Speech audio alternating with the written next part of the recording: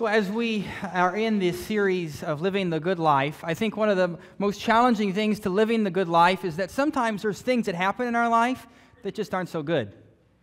We live in a culture right now where the Me Too movement and Time's Up has been elevated to the conversation as people are discussing what sexual abuse and sexual assault looks like.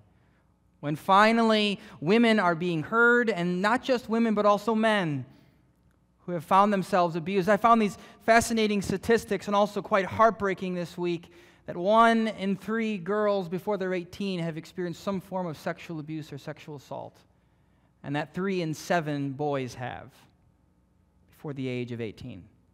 It's a staggering number. It's heartbreaking. And I read, heard read in our text this morning that to not exchange abuse for abuse, but instead to extend a blessing instead of abuse. I think in our culture and where we live today, that's a hard thing to hear. And I think sometimes in some of our ears, we may even hear that and go, so does that mean we just like let the abusers go and we just try to lavish good blessings on them and hope that somehow that will change their ways? Do we just sit back passively and allow these abuse to occur in our culture? What do we do? What does it mean to, to be a blessing to somebody who's an abuser and has hurt you? Our passage today, it talks about what it means to not meet an insult for an insult. We live in a culture and in a world where it seems that Twitter is the purpose of insults now. Where the people, the highest people in our land, our senators and our congressmen and our teachers and our leaders who we're supposed to be looked to, seem to be caught up in these childhood, middle school fights back and forth with a few characters of insults that they can spew at one another. I mean, these are the people that we're supposed to be looking to as examples, as the people who are our leaders. Yet insult for insult seems to be what is spewed back and forth. Yet it seems to me that we live in a world that if there is evil in the world, we try to match it with just the same amount of evil and violence to show them that we have big guns, don't mess with us, step down. We live in a world where oftentimes it is not raised up the idea to be humble as good and to be tenderhearted and to be sympathetic. Instead, what seems to be a value is those who stand for what they believe in and are proud and are prideful and are sure and certain and unwilling to hear or budge, and they stand their ground. We live in a world in many ways where those who think differently than us, we refuse to hear their viewpoints or to reach across party lines for fear of being associated with those people or those people. Yet in our passage today in 1 Peter chapter 3, Peter is calling us to something that I believe the Spirit is still calling us and moving us to today. To be a people who don't respond with insult for insult, evil for evil, abuse for abuse. We would be a people who are tenderhearted and humble in our attitude. That we would be quick to forgive and extend love and compassion. I have heard this story recently uh, of about uh, in June of 1996, there was a group of KKK white supremacists who had decided that they were going to gather outside of City Hall in Ann Arbor, Michigan. And so, with all protests, they had to gain a petition to do so and a permit. And so they went to the office and they got their approval. Well, then the word got out amongst town that the KKK were coming to Ann Arbor outside of the city hall to protest. And so counter protesters decided to begin to organize. And on the day of the protest, there were 17 KKK members who showed up outside of City Hall and 300 counter protesters. As the white supremacists began to spew out their beliefs and their thoughts and their hatred, insults, and evil, all of a sudden, how many of you know that the, that, that the counter protesters sort of pushed in a little bit? And all of a sudden, a little bit, you've got a, a, shoulder that's bumping, and all of a sudden, a word that's spewing, and all of a sudden, somebody says something, and you feel you have to bounce back at them and, and match what they're saying, and your, what, your, what their presence is is becoming more intensified. How many of you know if there's only 17 of one and 300 of another, you feel a little intimidated and nervous about where this is going? And before you knew it, all of a sudden, two of the protesters began to fight at it, and the whole group broke out. It didn't take long before one of them was knocked to the ground, one of the white supremacists. And as he was knocked to the ground, a bunch of the counter protesters around began to kick and hit and punch and spit and pick up rocks and throw it at the KKK member. And then there's this image I want to share with you. One of the counter protesters named Kaisha jumped on top of the KKK member as people were beating and trying to hurt him, and she said, Stop. There's a better way. Stop.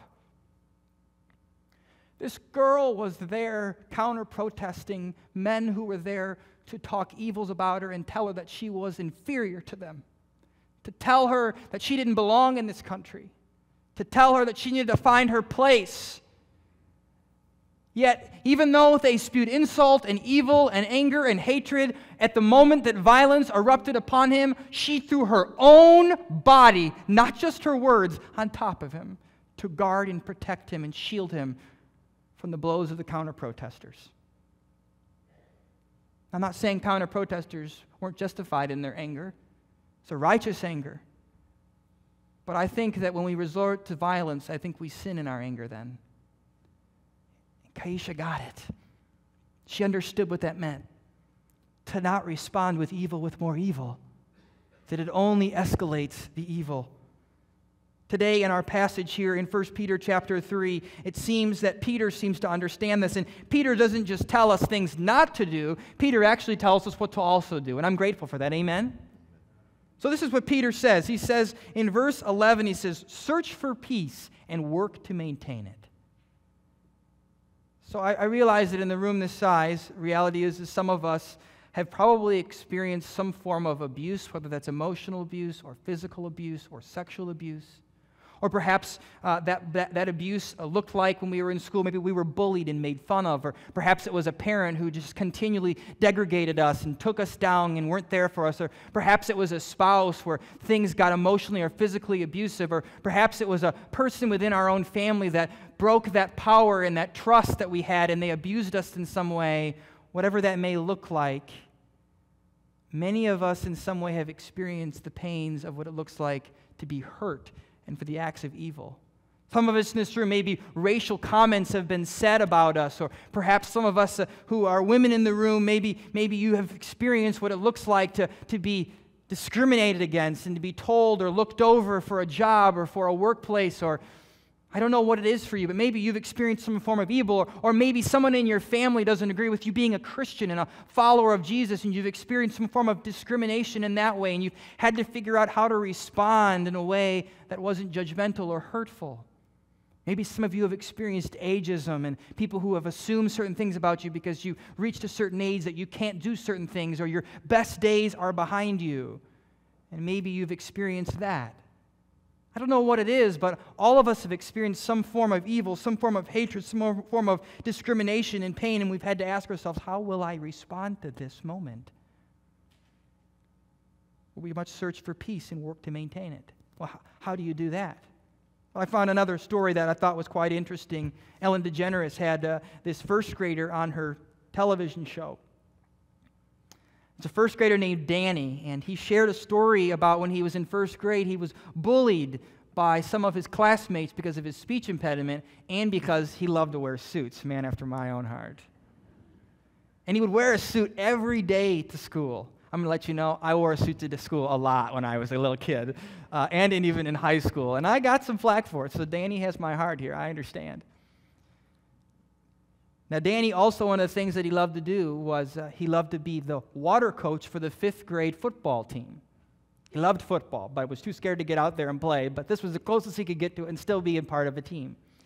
And so, when the fifth grade football team had heard that their water coach was being bullied, they decided, we've got to do something about this. The first graders can't think that it's acceptable to make fun of somebody just because they wear a suit or they have a speech impediment. So, they decided that they were going to devise a plan. And their plan was this that there would be one day that year where they would have a Danny Appreciation Day where everyone in the fifth grade would wear a suit to school. And that some of those fifth graders on the playground would actually walk around with Danny. And if anybody said anything to him, and which some people did, they would explain to the first graders why it wasn't cool to make fun of people. And why it was actually cool to think that it's awesome that people wear different clothes from different cultures and styles and backgrounds. And for somehow, some way, because first graders look up to fifth graders for some reason, it changed the culture in that class. And first graders realized, oh, this isn't a cool thing to do. And Danny wasn't teased anymore. I think this is a beautiful story of, of uh, my parents would have told me when I was a kid if someone punches you, punch back harder. If someone teases you, give a worse insult and they'll stop. Or my grandma would say, just, just ignore them. You know, they don't know what they're talking about. They're just hurt people who are hurting people, and it's fine, and, and, and, and, and just walk away.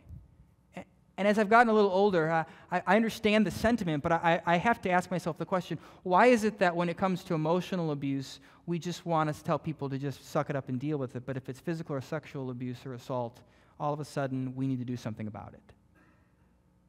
I want you to know sticks and stones may break your bones, but words, they also hurt you. I hope you know that whether it's physical or emotional or sexual abuse or assault, evil is evil in all of its forms and it's unacceptable and needs to be addressed and taken all just as seriously. I remember thinking about this story and thinking, you know, the, the, these people, uh, uh, these, these fifth graders who heard about this act of evil that was happening, in many ways, this, this first grader was defenseless in being able to even fight back. And instead of just saying, well, just ignore them or just throw a punch or just walk away, the fifth grader said, no, we need to do something to change the systemic issue that lies here. Something in the first graders in our school think that it's okay to tease somebody. And so they, here's this picture you have of uh, the first grader with all the fifth graders around him on the day that they all wore their suit. And the, I love this image because it's a, it's a reminder to me that this is what it looks like to search for peace and not just to bless your enemy and not just to sort of turn the other cheek and walk away and uh, allow this behavior to continue. But no, God actually calls us to change that which is evil in the world, to call people to a different way, to bring people together, to tear down the walls that divide us and the anger that is in our hearts and they rallied around this young man and they said, No, we're going to search for peace and we're going to work to maintain it. And so every year at this school, they have times when the upperclassmen will have uh, rallies and they'll talk about bullying and why it's not cool with their hopes to influence the underclassmen because they're working to maintain the resistance of evil in the world. You see, our, those in our passage this morning, uh, who Peter is writing to, uh, they in many ways fought uh, their own sort of challenges. They were not considered like a Christian faith yet at this point in history. They would have been considered like a, subgroup, a subgroup of Judaism. And many of those within, the, within Judaism and, and all, as well as Gentiles did not like that there was this new form of Judaism seeming to be formed. That there were these rebels and these people who were following the ways of Jesus. They, they didn't appreciate that. They were breaking the norms and what was acceptable. And so, for many of these people, as they converted, their families turned their backs on them. For many of these folks, they wanted to maintain the status quo and they were afraid that, that these new Christians, sort of speak, they were part of the new Judeo Christianity, that they would stir and they would break up and they would create tension for the Romans and that it would make life difficult for them. And they did not want that. And we know through history that that is exactly what eventually happened. And throughout Rome, there were times when Christians were in power and they had total control, and sometimes they persecuted and oppressed those who didn't believe like them. And there were other times when Christians were not in power and they were the minority and they were the ones being persecuted. It's funny how that happens with power. When you get it and you realize what it was like to be on the other side, sometimes you do the very same things that were done to you to maintain the power. Yet that's not at all what God called us to to not fight with the same weapons that were used to oppress us, that are used to abuse and hurt us, but instead to honor, love, and respect.